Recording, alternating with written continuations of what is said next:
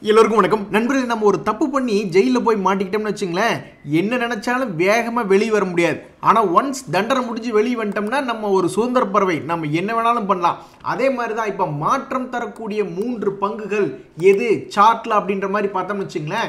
இந்த Aarthi industries astral கோல்பால் போன்ற பங்குகள் என்னுடைய கண்ணுக்கு தெரியுது. அதாவது இந்த ஆர்த்தி இண்டஸ்ட்ரீஸ் அப்படின்ற ஷேர் எடுத்து பார்த்தா இவன்லாம் வந்து பழைய ஹை வந்தாவே போதுமே. ஆயிரத்தி இரநூறுவா பக்கத்தில் இருக்கான். ஸோ இங்கே ஐநூறு ரூபாயில் இருக்கான். என்னை பொறுத்த வரைக்கும் இவனுக்கு கொஞ்சம் விடுதலை கிடச்சிருச்சு. இவன் இங்கிருந்து மேல் நோக்கி வந்துடுவான் ஐநூற்றி நாற்பத்தஞ்சிலேருந்து மேலே வந்தான்னா எப்படின்னு ஒரு ஒரு வருஷத்துக்குள்ள அல்லது ரெண்டு வருஷத்துக்குள்ள ஆயிரத்தி நூறு அல்லது ஆயிரத்தி ஐநூறு வந்து தொடுவான் அப்படின்ற மாதிரி எனக்கு தோணுது. இந்த ஸ்டாக்னுடைய ஃபண்டமெண்டல் பார்க்குற ஒன்றும் பெரிய எக்ஸ்பென்சிவாக இருக்கிற மாதிரி தெரில ஒன்றும் பெருசாக கடன் இருக்கிற மாதிரியும் தெரில ஆனால் அவனுடைய ஏர்னிங்ஸ் பர் ஷேர் ஒரு ஷேருக்கு பதினாறு ரூபா தான் சம்பாரிச்சு ஸ்டாக் பிஇ மட்டும் ரொம்ப எக்ஸ்பென்சிவாக ஒரு இருக்குது ஒரு இருபது இருபத்தஞ்சு அப்படின்னு இருந்தால் கொஞ்சம் சந்தோஷமாக இருந்திருக்கும். எது எப்படியோ எப்படி பார்த்தாலும் பிஇஜி ரேஷியோ படி பார்த்தோம்னா ரொம்ப எக்ஸ்பென்சிவாக இருக்கிற மாதிரி தெரியல. சமீபத்தினுடைய இவனுடைய குவார்டர்லி ரிசல்ட்ஸ் பார்க்குறேன். அதில் ஒன்றும் பெரிய மாற்றம் இல்லை. அவனுடைய ஸ்டாண்டர்டாக அவனுடைய சேல்ஸ் அப்படின்றது மெயின்டைன் ஆகிட்டே தான் இருக்குது அவனுடைய மார்ஜின் பர்சன்டேஜும் ஒரு மாதிரி கீழே இறங்கிட்டு வந்தாலும் இன்னுமே மெயின்டைன் பண்ணிட்டு தான் இருக்கான் அவனுடைய ப்ராஃபிட் அப்படின்றதும் பார்த்தோம்னா ஒன்றும் பெருசாக டெட் ரைட் ஆகலை. ஓரளவுக்கு ஓகே அப்படின்ற மாதிரி தான் இருக்குது ஸோ நான் வாங்கக்கூடிய ஷேரில் வந்து இதை வந்து ஒரு ஃபில்டர் கண்டிஷனில் போட்டு வச்சுக்கலாம். ஒரு வாட்ச் லிஸ்ட்டில் போட்டு வச்சுக்கலாம் அப்படின்ற மாதிரி தான் நான் நினைக்கிறேன். ஸோ என்னுடைய வாட்ச் லிஸ்ட்டில் அடுத்து இருக்கக்கூடிய இந்த அஸ்ட்ரால் அப்படின்ற ஷேரை நான் எடுத்து பார்க்கலான்னு பார்க்குறேன். இந்த ஷேர்னுடைய கடைசி ஒரு ரெண்டு வருஷம் ப்ரைஸ் மூவ்மெண்ட் அப்படின்னு எடுத்து பார்க்குறேன். ரெண்டாயிரத்தி இருபத்தி ஒன்றுலேருந்து பார்த்தோன்னா அவனுக்கு ஏறது மட்டும்தான். சரி ஓகே மார்க்கெட் ஏற சமயத்தில் அவன் ஏறி இருக்கான் அதுக்கப்புறம் ரெண்டாயிரத்தி இருபத்தொன்னுக்கு அப்புறம் ரெண்டாயிரத்தி இருபத்தி ரெண்டுலாம் பார்த்தீங்கன்னா அவன் இறங்கினாலுமே மறுபடியும் மார்க்கெட் ஹை போகிறப்ப இவனு வந்து ஹையை டச் பண்ணி பார்த்துருக்கான் பாருங்க. ஸோ மார்க்கெட்னுடைய மூவ்மெண்ட்லாம் இவன் இருக்கான். அதுக்கப்புறமே வந்து இப்போ மறுபடியும் மார்க்கெட் கீழே வந்துட்டு இங்கேருந்து மேல் நோக்கி பயணத்தை ஆரம்பிக்குமோ? இந்த அஸ்ட்ரால் இங்கேருந்து மேலே வந்துருவானோ? அப்படின்ற மாதிரி எனக்கு தோணுது. ஸோ மேலே வர மாதிரி இருந்தால் இவன் ரெண்டாயிரத்துலேருந்து ஒரு ரெண்டாயிரத்தி ஏழ்நூறு வரைக்கும் அல்லது ரெண்டாயிரத்தி அறநூறுவா இது வந்து கொஞ்சம் வேல்யூ கம்மி தான் இந்த ஆர்டி இண்டஸ்ட்ரீஸ் எல்லாம் மேலே வந்தான்னா கொஞ்சம் பெரிய அளவில் பார் ப்ராஃபிட் இருக்குது நான் இல்லைன்னு சொல்லலை. இந்த அஸ்ட்ரால்லாம் வந்து நல்ல குவாலிட்டியான ஸ்டாக்காக இருக்கிறதுனால பெருசாக இறங்க மாட்டேங்கிறான். கொஞ்சம் தூரம் தான் இறங்கியிருக்கா. ஸோ திரும்பி மேலே வரும்போது எப்படி கொஞ்சோண்டு ப்ராஃபிட் அப்படின்றது இந்த அஸ்ட்ராலில் இருக்கிற மாதிரி தான் நான் பார்க்குறேன் எல்லாத்தினுடைய மூஞ்சியும் பார்க்கறக்கு சந்தோஷமாக இருக்கணும். எல்லாரும் சந்தோஷமாக இருக்கணும்னா முதல்ல சிரிக்கணும். அதுக்கு சிரிக்கிறப்ப பல்லு வெள்ளையாக இருந்தால் தான் நல்லாயிருக்கும் இந்த கோல்கேட் பாம்போலையும் அப்படின்ற ஷேர் வந்து ரொம்ப காலமாக நீண்ட காலமாக இருக்குது நல்ல லாபம் அப்படின்ற சம்பாரிச்சு கொடுத்துருக்கான். இந்த சமயத்தில் வந்து இவன் வந்து எவ்வளோ தூரம் பயமுறுத்துற மாதிரி ஆயிரத்தி எட்நூறு ரூபாயிலிருந்து கட கடன் கீழே இறங்கி ஆயிரத்தி நானூறு வந்துட்டான். வந்தவன் என்ன பண்ண நினைக்கிறீங்க? மறுபடியும் சப்போர்ட் எடுத்து மேலே ஆயிரத்தி எழுநூறு வரைக்கும் போனால் இப்போ மறுபடியும் கீழே வந்திருக்கான் அப்போ இவனுடைய பேட்டனே பார்க்கும்பொழுது கொஞ்சம் ஒரு மாதிரி கீழே இறங்கினாலும் ஏறுமுகமாக தெரியுறான். ஸோ இங்கே ஆயிரத்தி ஐநூறுலேருந்து மேலே வந்தானா பெரிய ப்ராஃபிட் இல்லை. ஒரு நூறு இரநூறுவா தான் இருக்குது அவனுடைய ஹை போனால் கூட பட் அது போனால் கூட பரவாயில்ல தானே. ஏகப்பட்ட பேர் சில சேரில் வாங்கி நஷ்டமாக இருக்கிறதுக்கு. இவன் வந்து இந்த இடத்துல ஒரு மாதிரி நல்ல பிரேக் அவுட் அப்படின்றது காமிக்கிறான். என்னை நம்புங்க. நீங்கள் வெட்டியே போக மாட்டீங்க. அப்படின்ற மாதிரி அவன் இந்த இடத்துல சொல்கிறான் இவனை நம்பி நான் இந்த இடத்துல வாங்கி கடைசியில் எனக்கு ஒரு கும்பா குட்டியை மாற்றி விட்டானே என்ன பண்ணுறது அப்படின்றதான் தெரில பட் என்னோட எல்லா ஃபில்டர்லேயும் அது வந்து ஓரளவுக்கு ஓகே பாசிட்டிவாக இருக்கிற மாதிரி தான் தெரியுது. ஸோ என்னை பொறுத்த வரைக்கும் மாற்றம் தரக்கூடிய மூணு பங்குகள் டெக்னிக்கலி இப்போ என் கண்ணில் பட்டது எது அப்படின்னு பார்த்தோம்னா இந்த மூன்று பங்குகள் தான் ஆர்த்தி அஸ்ட்ரால் கோல்பால். இதில் இவனு ரெண்டே ரொம்ப ஸ்டாண்டர்டான கம்பெனி மறுபடியும் மேலே அவனுடைய ஹை வந்தாவே ஒரு பத்து பர்சன்டேஜ் இருபது பர்சன்டேஜ் கிடைக்கும். பட் பெரிய பணம் அப்படின்ற மாதிரி பார்க்கணுன்னா இந்த ஆர்த்தி இண்டஸ்ட்ரீஸ் எடுத்து அவன் ஐநூறுரூவாயிலிருந்து ஆயிரம் ரூபா ஒரு வருஷம் ரெண்டு வருஷத்துக்குள்ளே போனால் கூட டபுள் மாதிரி தான் எனக்கு தெரியுது. நண்பர்களே அனலிஸ்ட் வந்து சமீபத்தில் நிறைய ஷேர்ஸ் அதை அனலைஸ் பண்ணி ரிசல்ட் சொல்கிறாங்க பட் எனக்கு வந்து ஒரு மூன்று முத்தான கம்பெனிகள் அதுலேயும் இந்த ஐடிஎஃப்சி ஃபர்ஸ்ட் பேங்க்லாம் வந்து டபுள் பண்ணிடுவானோ பணத்தை அப்படின்ற மாதிரி எனக்கு யோசனையாக இருக்குது ஏன் அப்படின்னா இந்த ஐடிஎஃப்சி ஃபர்ஸ்ட் பேங்க் எடுத்து பார்த்தோம்னா இன்றைக்கி ரெண்டு பர்சன்ட் ரெண்டு பர்சன்டேஜ் ஏறி இருக்கான். வெள்ளிக்கிழமை இன்னைக்கு நீங்கள் நம்ம ஞாயிற்றுக்கிழமை இருக்கும். ஸோ இந்த சமயத்தில் வந்து ஒரு ஒன் இயர் சார்ட் அப்படின்றத எடுத்து பார்க்குறோம். அவன் ஏற்கனவே இருபத்தொம்பது ரூபா போனவன் மறுபடியும் மேலே அறுபத்தி ரெண்டு ரூபா வரைக்கும் போயிருக்கான். ஸோ ஃபைவ் இயர் சார்ட் அப்படின்றத நம்ம எடுத்து பார்த்தோம்னா கீழே இருபது ரூபா ரேஞ்சிலிருந்து ஏற்கனவே ரெண்டாயிரத்தி இருபதுலேருந்து ரெண்டா இது எல்லாருமே மாமூலாக எல்லாருமே பண்ணி கொடுத்துட்டாங்க. இவன் மட்டும் கிடையாது. நூற்றுக்கு எண்பத்தஞ்சு பர்சன்டேஜுக்கு மேலே பங்குகள் ரெண்டாயிரத்தி இருபத்து இருந்த லோனில் ரெண்டாயிரத்தி இருபத்தொன்னில் டபுள் பண்ணி கொடுத்துட்டான். அது பிரச்சனை இல்லை இப்போ. ஸோ ரெண்டாயிரத்தி இருபத்தி ஒன்றுலேருந்து ரெண்டாயிரத்தி இருபத்தி ரெண்டு வரைக்கும் கீழே போனவன் மறுபடியும் அந்த பணத்தை ரெண்டாயிரத்தி இருபத்தி ரெண்டுலேருந்து ரெண்டாயிரத்தி இருபத்தி மூணு முடிகிறதுக்குள்ளேயே பணத்தை வந்து டபுள் பண்ணி கொடுத்துருக்கான். ஸோ இப்போ இந்த ஐடிஎஃப்சி ஃபர்ஸ்ட் பேங்க் வந்து இப்போ வந்து என்ன ரேட் இருக்கா அப்படின்னு பார்த்தீங்கன்னா ஐம்பத்தாறு ரூபாயில் இருக்கான். எங்காவது இவன் எக்கு தப்பா மேலே வந்து உங்களுக்கு ஒரு அறுபது ரூபா தாண்டி மேலே போனான்னா நூற்றி இருபது ரூபா வரைக்கும் போகக்கூடிய வாய்ப்பு இருக்குது ஆனால் இந்த அனலிஸ்ட் என்ன சொல்கிறாங்கன்னா கிட்டத்தட்ட எழுபது ரூபா வரைக்கும் போகக்கூடிய வாய்ப்பு இருக்கிறதா சொல்கிறாங்க ஸோ எப்படி பார்த்தாலும் இதில் இன்னும் ஒரு இருபது இருபத்தஞ்சி பர்சன்டேஜ் மேல் நோக்கி போகக்கூடிய வாய்ப்பு இருக்கிறதா தெரியறது. இன்னொரு விஷயங்க பெரிய பெரிய ஸ்டாக்ல வந்து யாரும் பெரிய டார்கெட்டே சொல்ல மாட்டாங்க. ரிலையன்ஸா ஒரு ஐநூறு ரூபாய் அதிகமா? ஒரு ஆயிரம் ரூபாய் அதிகமா? இந்த மாதிரி தான் சொல்லுவாங்க. இந்த சமயத்தில் வந்து ஆக்சிஸ் பேங்க்குக்கு வந்து நோம்புராய் அப்படின்றவங்க வந்து என்ன சொல்றாங்கன்னா ஆயிரத்தி நூற்றி பத்து போகக்கூடிய வாய்ப்பு இருக்கிறதா சொல்றாங்க.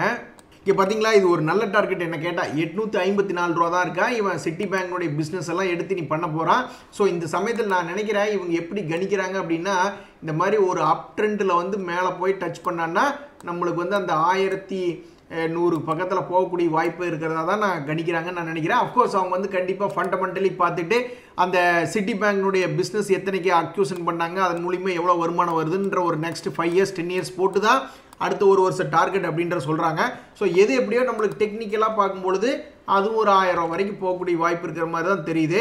போனால் நல்லது தான் ஷேர் மார்க்கெட்டே மேலே ஏறி வந்துடும் நண்பர்களே இந்த சொனாட்டா சாஃப்ட்வேர் சொன்ன எல்லா டார்கெட்டுகளையும் தாண்டி மேலே தான் இருக்கான். இதெல்லாம் போன வருஷமே என்ன சொல்லியிருந்தாங்கன்னு இதெல்லாம் கொஞ்சம் மேல் நோக்கி ஏறக்கூடிய பங்குகளாக சொல்லியிருந்தாங்க. ஸோ ஐநூறு ரூபாயிலிருந்து ஆல்ரெடி எட்நூறுவா வந்துட்டான். ஃபைவ் இயர் சார்ட் அப்படின்றத போட்டு பார்த்தோம்னா அதனுடைய ட்ரெண்டு மட்டும் கண்டினியூ ஆகிறான்னு வச்சுங்களேன்.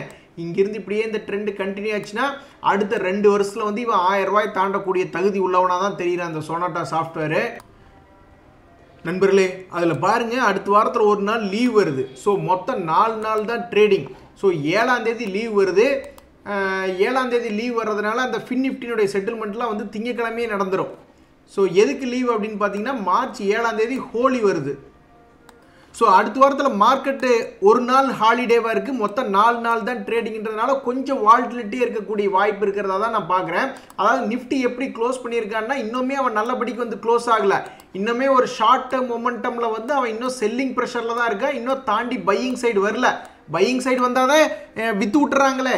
ஸோ இப்போதைக்கு மார்க்கெட் வந்து கொஞ்சம் முக்கி முக்கி மேலே ஏறி வந்திருக்கான் இன்னும் கொஞ்சம் முக்கி அப்படியே ஒரு பதினேழாயிரத்தி எட்நூற்றி ஐம்பது வரைக்கும் காமிச்சிட்டான்னா கூட என்னுடைய பொசிஷனில் இருக்கிற கொஞ்சோண்டு நிஃப்டி வந்து ஒரு இருபதாயிரம் முப்பதாயிரத்துக்கு கம்மி பண்ணி விட்டுறலாம் ப்ராஃபிட்டுக்காண்டி உங்களை பொறுத்த வரைக்கும் அடுத்த வாரத்தை நிஃப்டி எப்படி ட்ரேட் ஆகும் அப்படின்றது தெரியப்படுத்துங்க. என்னை பொறுத்த வரைக்கும் என்னென்னா இந்த பதினேழாயிரத்தி நானூறு அப்படின்றது இப்போ ஒரு சப்போர்ட் ஆயிடுச்சு. பழைய பதினேழாயிரத்தி முந்நூறுலேருந்து கொஞ்சம் சப்போர்ட் ஏறி வந்திருக்கு.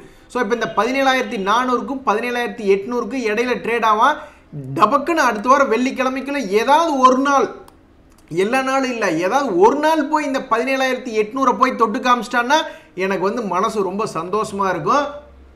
வீதியில் இருக்கிற எல்லாத்துக்கும் மூஞ்சிலையும் போய் ஹாப்பி ஹோலின்னு சொல்லி தண்ணி பிடிச்சி ஊற்றி விட்டு வந்துடுவேன் நண்பர்களே இன்னொரு முக்கியமான விஷயம். போன ஒரு மாதமாக ஷேர் மார்க்கெட் மேலும் கீழும் ஏறி இறங்கின ஒரு காரணத்துக்கு முக்கிய காரணம் அதானி தான். அதானியில் நடந்த குளறுபடிகள் தான் அப்படின்றது நம்ம மறுப்பதற்கு எந்த விதமான இல்லை. எந்த விதமான காரணத்தையும் சொல்ல முடியாது. அதை ஒத்துக்கிட்டு தான் ஆகணும். ஃபர்ஸ்ட் வந்து அதானி வந்து எஃபிஓ வந்துச்சு. கரெக்டாக எஃபிஓ வர சமயத்தில் ஒரு ரிப்போர்ட் விட்டாங்க. அதுக்கப்புறம் வந்து என்ன நடந்ததுன்றது வள வரலாறு. ஸோ இந்த அதானியினுடைய மேட்னஸ் ஓவர் ஆயிடுச்சா? அதுக்கப்புறம் மார்க்கெட் ஓரளவுக்கு மேலே ஏறுமா அப்படின்றத அடுத்த வாரத்தில் மிகவும் கூர்ந்து கவனிக்க வேண்டிய ஒன்று. அப்படி மட்டும் நடந்துருச்சுன்னா ஓரளவுக்கு எல்லாத்துக்குமே சந்தோஷம் தான் ஷேர் மார்க்கெட்டில் இருக்கக்கூடிய பிரச்சனைகள் போயிடுச்சு அப்படின்றது மாதிரி உறுதியாயிரும். அதே மாதிரி ஃபாரினர்ஸ் வந்து தொடர்ந்து விற்கிறாங்களா இல்லையா அடுத்த வாரத்தில் அப்படின்றது தெரிஞ்சுக்கணும். ஏன் அப்படின்னா இப்போதைக்கு அமெரிக்க மார்க்கெட் கொஞ்சம் மேலே ஏறி வர்றான்.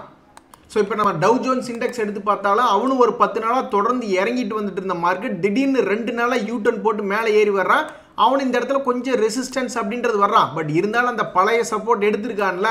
சப்போஸ் எக்கு தப்பா திங்கக்கிழமையே அது அதுக்கு அடுத்த நாட்களில் வந்து கொஞ்சம் புள்ளிஸ் ஆகி வந்து காமிச்சிட்டான்னா நம்மளுக்கு சந்தோஷமாயிரும். நம்மளுடைய நிஃப்டி கண்டிப்பாக அந்த பதினேழாயிரத்தி எட்நூறு அப்படின்றது தொடக்கூடிய வாய்ப்பு இருக்கு. ஏங்க அது வந்தா வருது வராட்டி போகுது. வந்துச்சுன்னா நான் இங்கே கீழே வாங்கினதெல்லாம் ப்ராஃபிட்டுக்கு விற்க போகிறேன் வரலினா மறுபடியும் தொடர்ந்து அக்குமுலேஷன் பண்ண தான் போகிறேன் நண்பர்களே இந்த ஐஆர்சிடிசி பல பேர் வைத்து கலக்கி விடுது. பட் எனக்கு சார்ட் பார்க்கறக்கு வந்து இவன் கண்டிப்பாக ஓரளவுக்கு நல்லா இருப்பானோ நல்லா வாழ்ந்துருவானோ அப்படின்ற மாதிரி தான் எனக்கு தோணுது.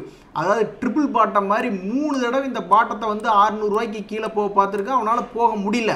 ஸோ அப்போ மேலே ஏறி வந்தானா கண்டிப்பாக ஃபஸ்ட் எடுத்தோன்னே அறுநூற்றி ஐம்பது வரைக்கும் கண்டிப்பாக வந்துடுவான் அந்த அறுநூற்றி ஐம்பதை உடச்சிட்டான்னா கண்டிப்பாக ஏழ்நூற்றி நாற்பது வரைக்கும் நம்மளுக்கு டார்கெட் இருக்கிற மாதிரி தான் தெரியுது. ஸோ இப்போதைக்கு ஸ்ட்ராங்காக தான் இருக்கான். அந்த வண்டி ஓடுற மாதிரி தான் தெரியுது ஐஆர்சிடிசி நண்பர்களே உங்களுக்கு தெரியாது இல்லை ஜொமேட்டோ அப்படின்ற ஷேர் வந்து ஒரு நம்பிக்கையின் பேரில் தான் ஓடிட்டு இருக்கு அது லாபம் பண்ணக்கூடிய கம்பெனி கிடையாது இப்போதைக்கு.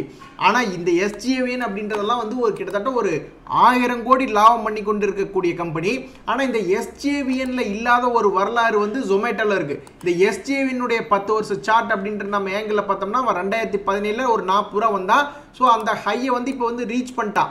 இதை உடச்சானா கண்டிப்பாக அடுத்தது அறுபது ரூபாய்க்கு போகக்கூடிய வாய்ப்பு இருக்குது அப்படி இல்லைனாலும் எஸ்ஜிஎவனில் எப்படி டிவிடெண்ட் வரும் வாங்கிட்டு போந்துக்கலாம் அப்படின்ற மாதிரி நம்ம யோசிக்கலாம். எஸ்ஜிஎவனுடைய டிவிடெண்ட் ஈல்டு எல்லாம் பார்த்தீங்கன்னா ஃபைவ் பர்சன்டேஜ் கிட்டத்தட்ட பேங்க் இன்ட்ரெஸ்ட்டில் பாதிக்கு மேலே ஒரு வருஷத்துக்கு நம்மளுக்கு கிடைச்சிருது.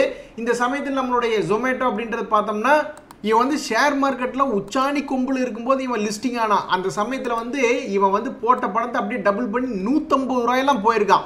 இது ஒன்றே ஒன்று தான் இவனுடைய வரலாறாக இருக்குது இந்த நூற்றம்பது ரூபா ஹை போயிருக்கிறதுனால இந்த ஐம்பத்தி மூணு ரூபாயிலிருந்து எப்படி என்னைக்காவது ஒரு நாள் நூற்றி ஐம்பத்தி மூணு ரூபா வருவான் அப்படின்றது நம்மகிட்ட வெறும் நம்பிக்கையில் மட்டும்தான் இருக்குது கற்பனையில் மட்டும்தான் இருக்குது அவன் என்னைக்கு இந்த மாதிரி ஒரு ஆயிரம் கோடி அப்படின்றத லாபம் பண்ணி காட்டுறானோ அப்போ தான் இந்த ஷேரில் வந்து ஏதாவது ஒரு திருப்பம் வரும்.